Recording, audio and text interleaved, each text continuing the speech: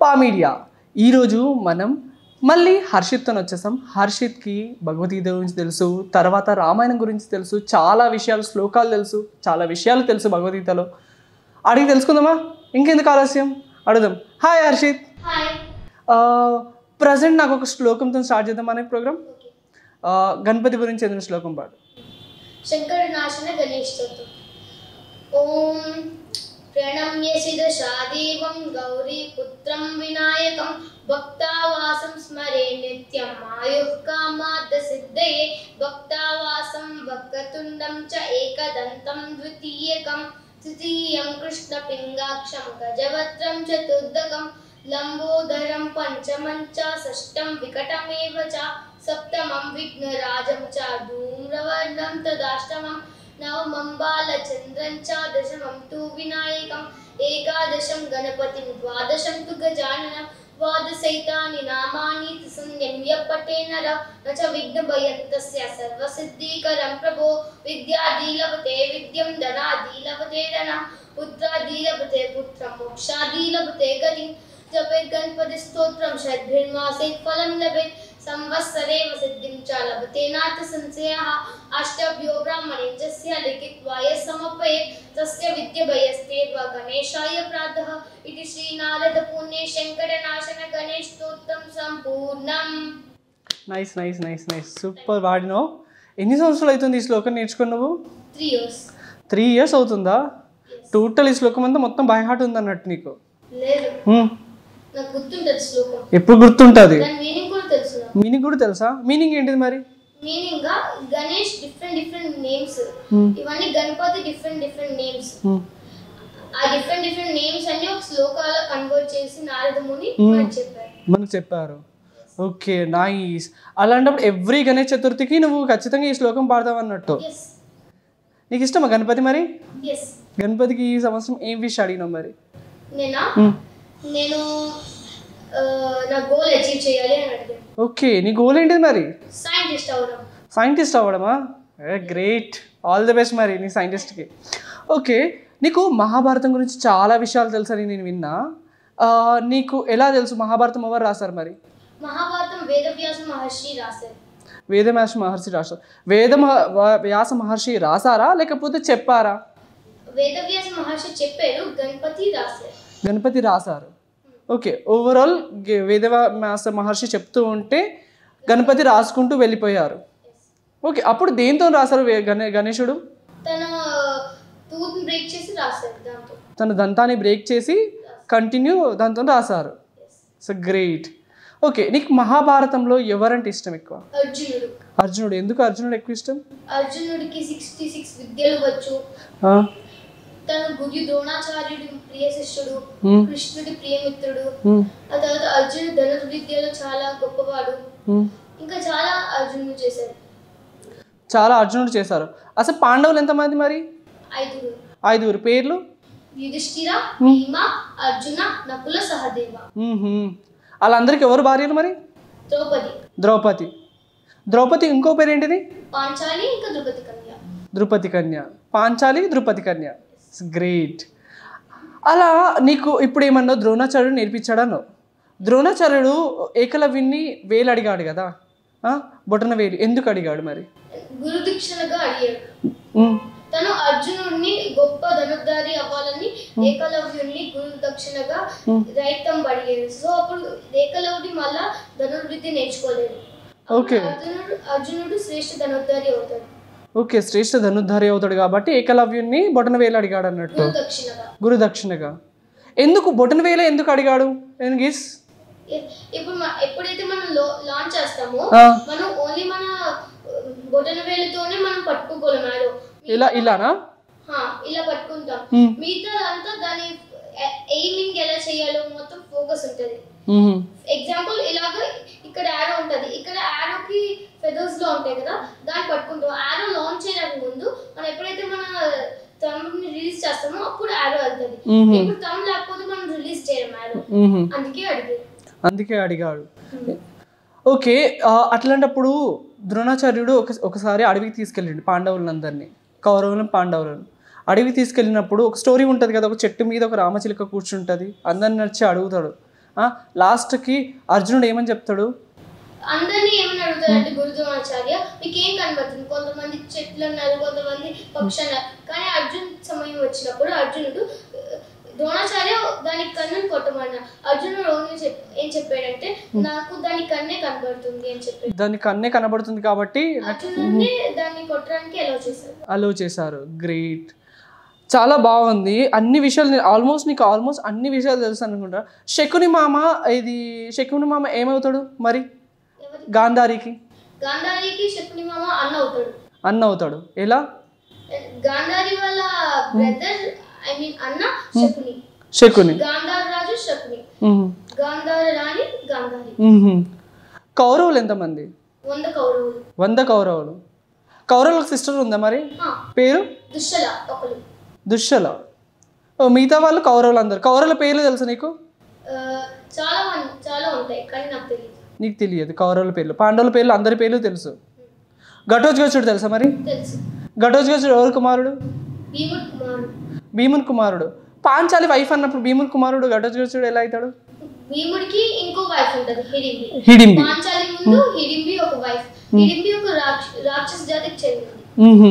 పాండవులు ఎప్పుడైతే వనవాసంలో ఫస్ట్ టైం ఉంటారో వన్ ఇయర్ మ్మ్. అప్పుడు భీమ హిడింబిని మ్యారేజ్ చేస్తారు.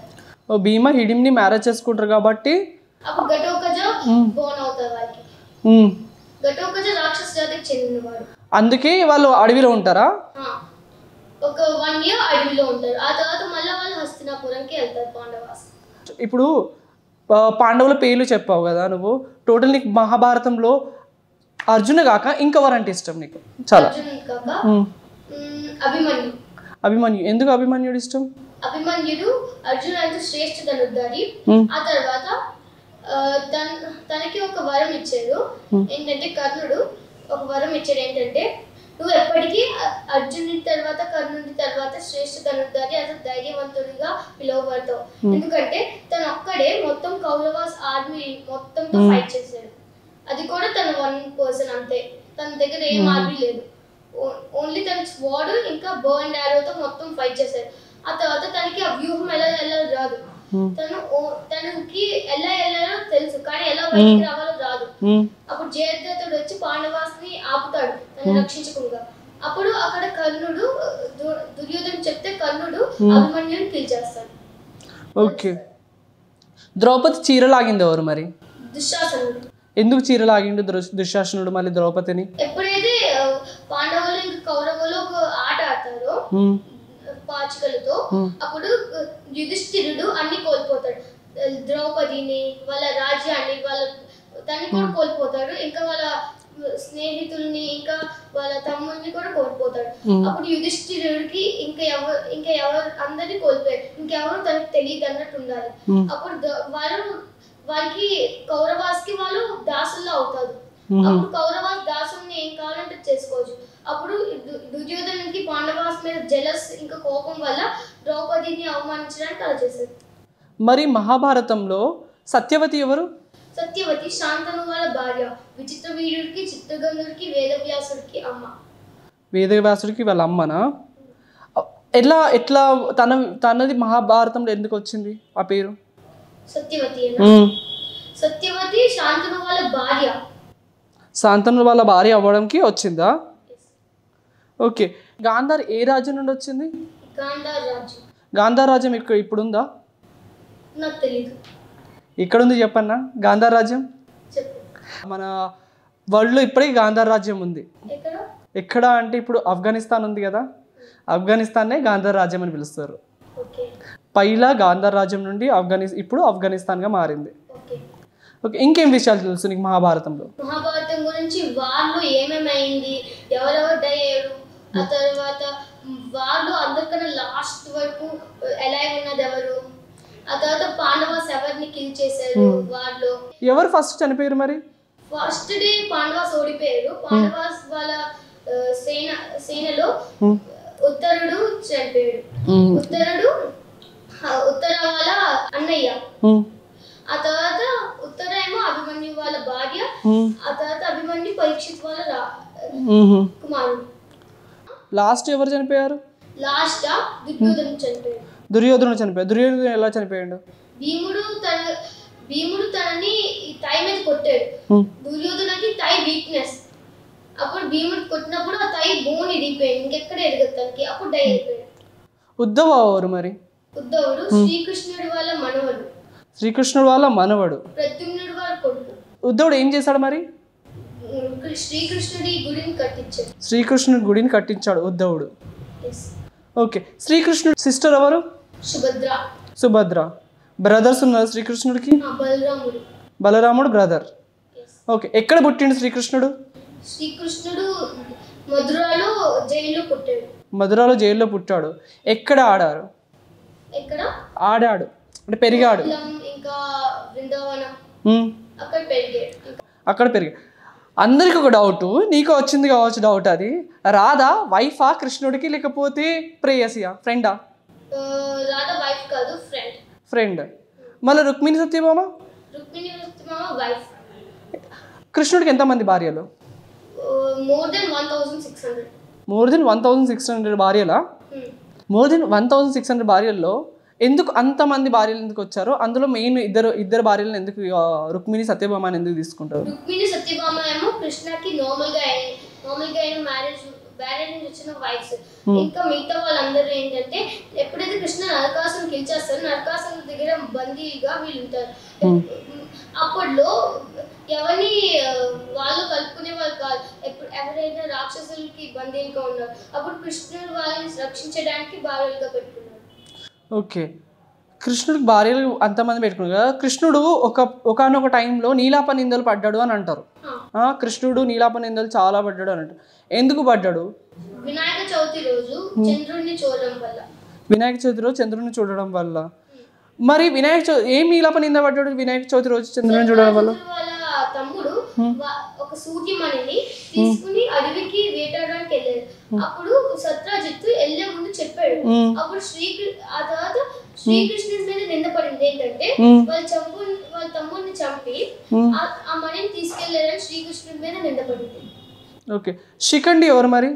శిఖండి దుష్టద్యుమ్న వాళ్ళ అక్క ఆ తర్వాత ముందు జన్మలో అంబ కాశీ నరేష పుత్రిక. ఓకే కాశీ నరేష పుత్రిక. మరి శిఖండి ఎందుకు పేరు వచ్చింది శిఖండి అని ఎందుకు మాట్లా ఎందుకు మెయిన్ కీ రోల్ అంటారు?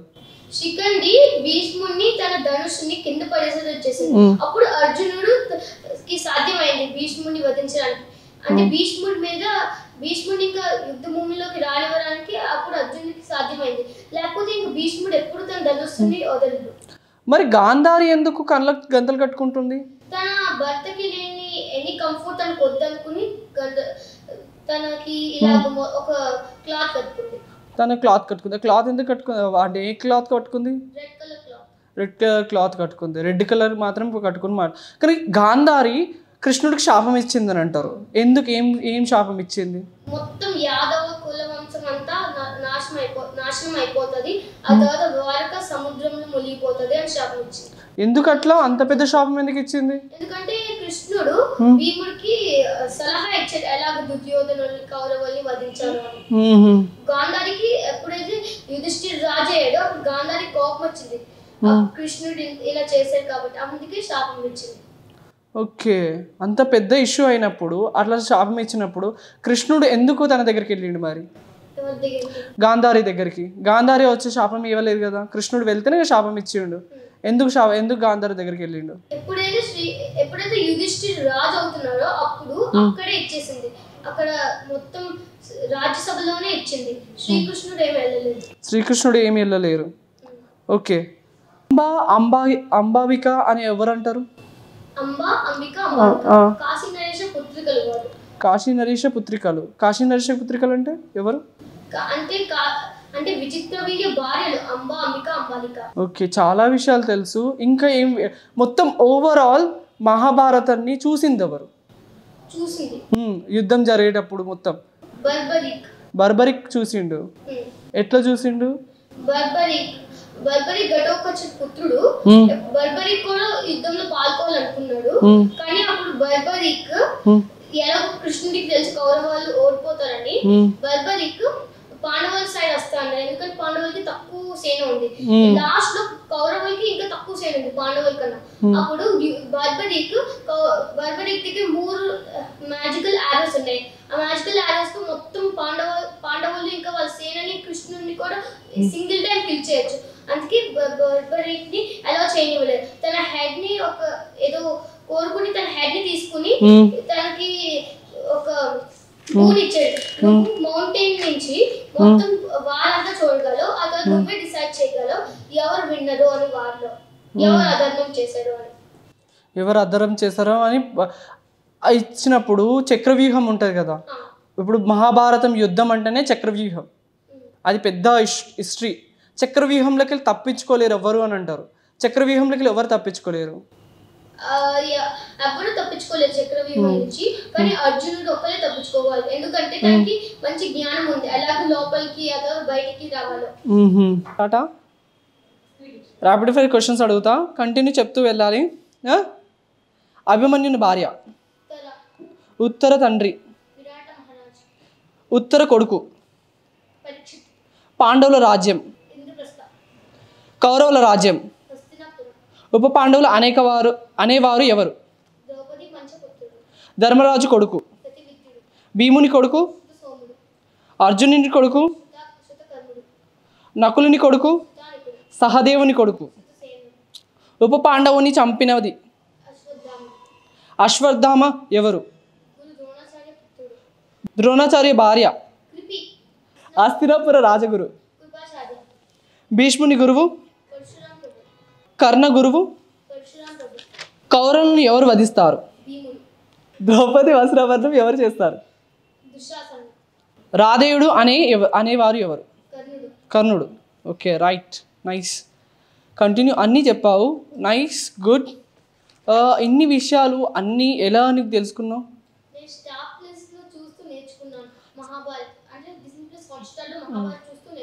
అసలు నీకు మహాభారతమే చూడాలి రామాయణమే చూడాలి ఎందుకు అనిపించింది? లైక్ ఎందుకు ఎందుకంటే స్టార్ ప్లస్లో చాలా సీరియల్స్ ఉంటాయి సార- చాలా సినిమాలు ఉంటాయి కదా.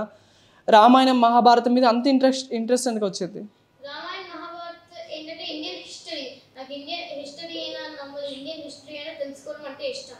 సో ఇప్పుడు అనదర్ హిస్టరీ తెలుసుకోవడం కన్నా ఇండియన్ హిస్టరీ తెలుసుకుంటే బెటర్ కదా? అని రామాయణ మహాభారత్ ఇంకా డివోషనల్ తెలుసుకున్నాను డివోషనల్ తెలుసుకున్నావా? ఇట్స్ గ్రేట్ నైస్ చూసారు కదా? ఎంత చక్కగా తెలుసుకొని అన్ని విషయాలు గుర్తుంచుకొని మరీ చెప్పాడు. ఎన్ని సంవత్సరాల నుండి తపన చేస్తే ఈ విద్య అనేది దక్కుతుంది. ఇప్పటికీ చాలామందికి మన మహాభారతం రామాయణం గురించి ఇంతవరకు తెలియదు. అండ్ పెద్దవాళ్ళకే ఇప్పుడు ఈ రా ఇప్పుడున్న జనరేషన్లో పెద్దవాళ్ళకి రామాయణం మహాభారతం అంటే కొంతమందికి అసలు అర్థం కూడా కాదు. రామాయణ మహాభారతంలో ఎవరెవరు ఉన్నారు? ఏమేమైతుంది ఏమేమైంది? కురుక్షేత్రం అంటే ఏంటిది? ఎంతమంది పాండవులు ఆ వనవాసంకి ఎలా వెళ్ళారు అనేది ఇంతవరకు చాలామందికి తెలియదు. కానీ చిన్నపిల్లగాడైనా కానీ అన్నీ గుర్తుంచుకొని కేవలం సినిమాలు సీరియల్ చూసి కొన్ని చోట్ల చదివి అవి మాత్రమే తెలుసుకొని తన్ను ఇంకా దాని మీద రీసెర్చ్ చేసి ముందరికి ఇంకా విషయాలన్నీ చెప్పాడు. ఇట్స్ గ్రేట్ కదా? చూస్తూనే ఉండండి పా డిజిటల్ లైక్స్ చేయండి షేర్ చేయండి కామెంట్ చేయండి. ఎలా వీడియో అనిపించిందో కూడా కామెంట్ చేసి చెప్పండి.